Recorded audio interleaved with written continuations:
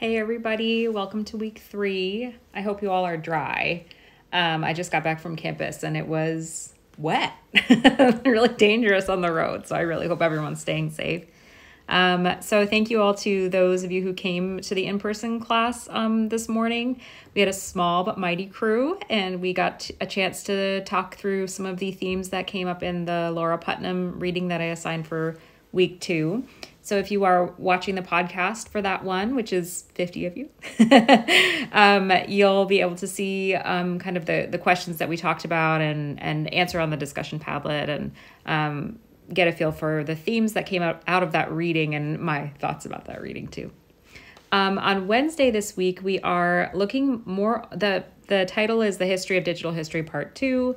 So we're getting into some other examples of digital history resources, and there's three of them that I will have us explore in class on Wednesday. Um, they all have to do with Black uh, Black American history or U.S. history uh, from African American perspectives, um, and two of them have to do with uh, slavery but um, uh, one of them has to do with futurism, Afrofuturism. So it's a really interesting mix. They're all from different, very different repositories, very different organizations. So hopefully we'll um, get a chance to talk through the variety of ways in which these sorts of historical sources are engaged with in um, online formats. And then that's connected to the reading that we're going to be doing for week three, which is an article by Jessica Marie Johnson.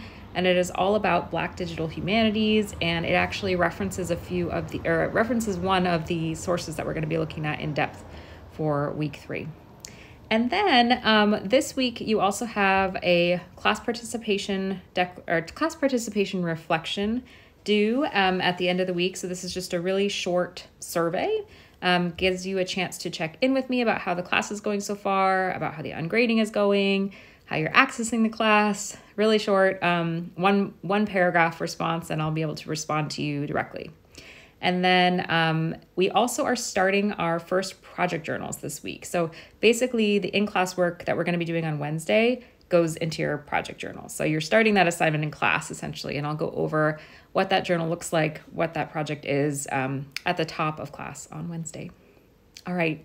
So I, you know, I'm at home now, right at home through the the pouring rain. I hope everybody's staying dry and safe, and I will see you on Wednesday, um, if not in person, online. Have a great week three, everyone.